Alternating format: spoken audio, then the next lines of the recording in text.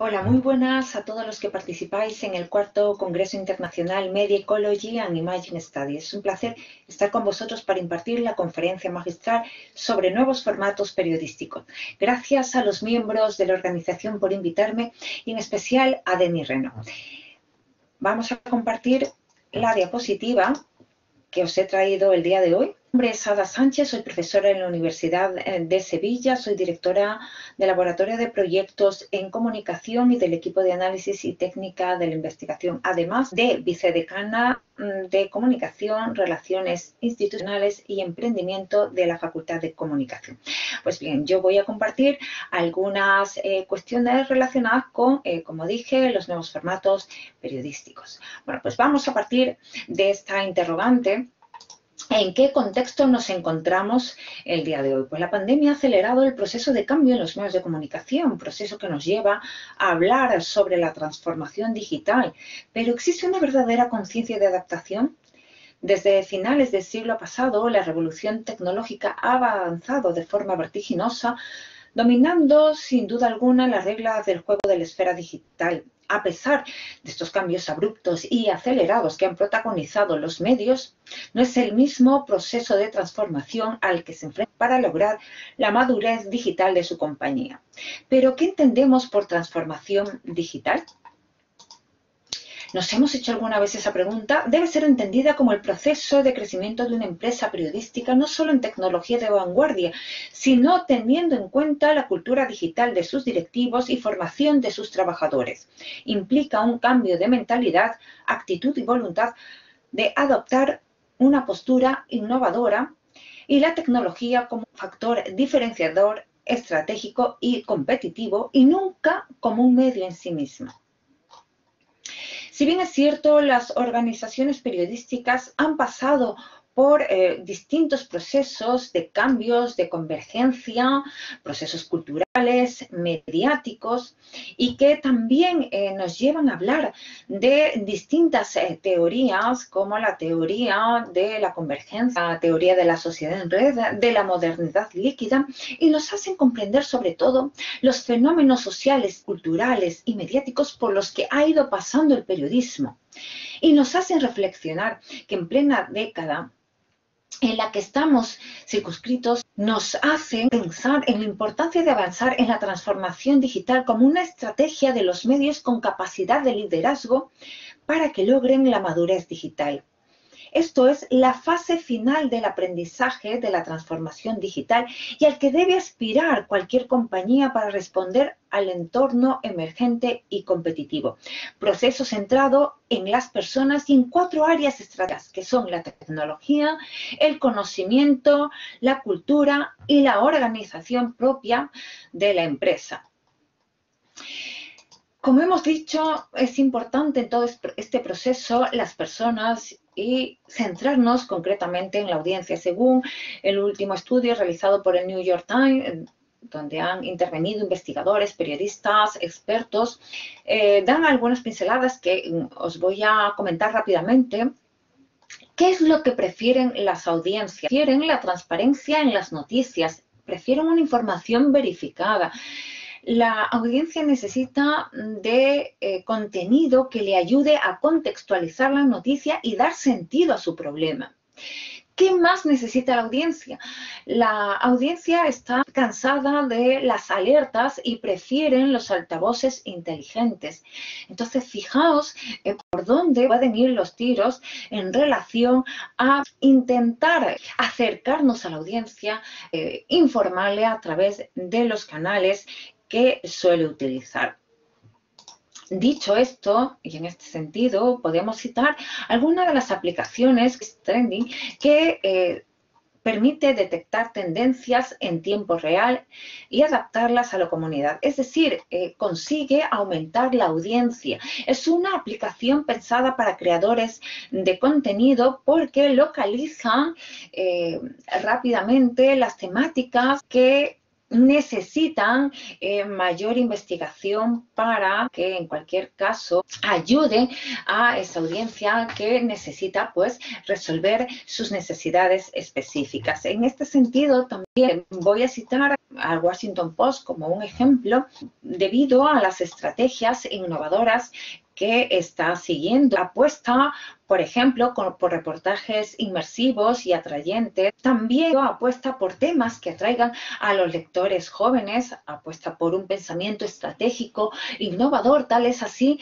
de que ha incluido dentro mm, de eh, los perfiles profesionales a un perfil específico relacionado solo para la audiencia. Apuesta por dar a conocer noticias de última hora, break news, con formatos más eh, visuales eh, o audiovisuales para atraer la atención de, la audiencia. ¿Qué formatos están siendo más utilizados por los medios de comunicación? ¿Será un futuro? ¿Es la moda? Pues son algunas eh, de las preguntas que se han lanzado algunos expertos. Sin lugar a dudas, es una fórmula para aumentar el compromiso con los nuevos lectores. Los medios han pasado de centrarse en los clics y visitas a tener en cuenta más al usuario el boletín informativo podría ser la forma más efectiva de entregar noticias, noticias de forma más personalizadas, más breves, incluso que resultan familiar porque te llega directamente al correo electrónico. Podría ser un formato que podría conectar directamente con los lectores porque se entiende que se trata de una información verificada o curada previamente. Y aún, sobre todo, mejor porque permite abrir nuevas vías hacia las suscripciones. Dicho esto, podemos lanzar la interrogante. ¿Es un nicho de mercado? Según el, último informe de Boca, los lectores de boletines consumen entre dos y tres veces más páginas que los que llegan, dice, por redes sociales. En tal es así de que os traigo un último ejemplo del periódico del medio digital Heraldo, eh, que bueno, pues ha sacado un boletín no, no generalista, sino específico eh, sobre eh, los planes para el pilar de 2021. Ha sacado como una especie de guía, una newsletter muy específica para que los lectores puedan realizar planes concretos y demás. Dicho esto, también es posible hablar de herramientas como Substack, eh, como dice, es el lugar de una excelente escritura y que sin duda alguna ha abierto un buen nicho de mercado y eh, una vía para los periodistas que, bueno, pues quieran lanzar sus eh, propias newsletters, porque les permite además monetizar, que esto es muy, muy importante, eh, a través del trabajo que realizan en julio de 2020 empieza, eh, digamos, esta, esta herramienta a darse a conocer y actualmente pues tiene más de 500.000 suscriptores. ¿eh? Es, un formato en alza. Hay muchos ejemplos eh, de, de Casey Newton. Bueno, era director de, de Bergen, que es un, un, medio digital, sobre todo especializado en tecnología. Y bueno, pues Casey al ver que, que, a través de esta herramienta podía monetizar los contenidos que suele trabajar, pues ha utilizado directamente la herramienta y bueno, pues eh, ya se ha ido del medio. Hay otros eh, casos, eh, como podéis ver, periodistas y directores de medios que, bueno, pues han dejado las salas de redacción y, y bueno, pues actualmente apuestan por el envío de sus propias newsletters.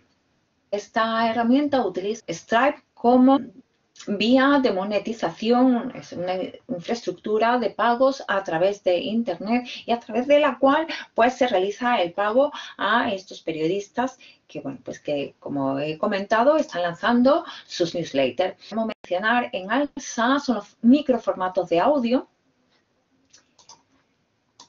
El país audio eh, ya apuesta por este tipo de formatos. Este medio unifica toda su estrategia de voz alrededor del periódico. Un equipo de siete personas desarrolla y coordina los contenidos sonoros. Eh, un ejemplo eh, que os podría poner de muchos otros, como La Vanguardia, etc., que bueno, pues eh, se han subido a este tipo de transformación. Ya lo dice la directora general de Prisa Audio, María Jesús Espinoza. En Prisa estamos viviendo un proceso de transformación que pasa por la creación de unas plataformas transversales para ganar eficacia y agilidad.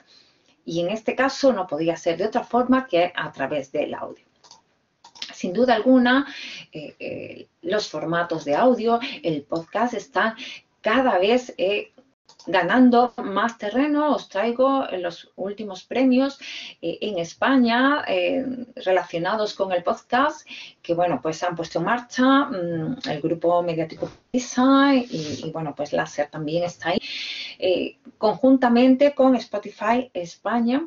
Y, bueno, pues aquí es un antes y un después en en temas de, podcast. Significa que vamos avanzando. Para aquellos que no sepan qué es un podcast, es un archivo de audio eh, que se puede escuchar en cualquier momento, tanto en streaming como descargándolo en alguna, algún reproductor para escucharlo, pues eh, cuando uno prefiera, como se dice, a la carta. Es una tecnología de bajo coste y de rápida producción, sobre todo cómodo y efectivo. En las en las últimas elecciones también a la Casa Blanca, eh, muchos de los medios eh, utilizaron el podcast para formar sobre la actualidad eh, política. Entre otros medios que también eh, se han subido a estos formatos innovadores, es Nexo, es un medio mm, de Brasil que, bueno, pues no solo eh, utiliza el podcast, sino también interactivo, los gráficos y demás, y que, bueno, es una referencia en cuanto se refiere a formatos innovadores. Otros eh, medios que en este caso son verificadores y que también se han subido al podcast, eso es Maldita es, de, aquí de España y Neutral, que bueno, pues eh, a raíz, como dije, de las elecciones a, la casa, a la Casa Blanca, pues incluyeron también dentro de, de su oferta los podcasts como dije, es el caso de Maldita Es y de Neutral con plata o plomo, el mundo en series. Este, a diferencia del otro, cuenta la actualidad y la política a través de las mejores series. También eh, podemos ver este tipo de microformatos eh, no solo en medios de comunicación, sino también en eh, instituciones educativas, en gabinetes de comunicación.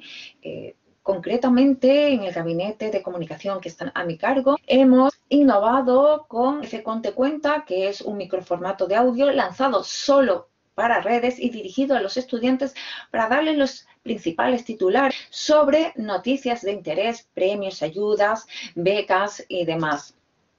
En este sentido, también hemos lanzado con el Laboratorio de Proyectos en Comunicación que está a mi cargo, entrevistas eh, con una duración máxima de dos minutos y también solo a través de las redes sociales, con el de que, que conozcan los proyectos realizados por estudiantes, egresados y también se extrapole a la sociedad en general.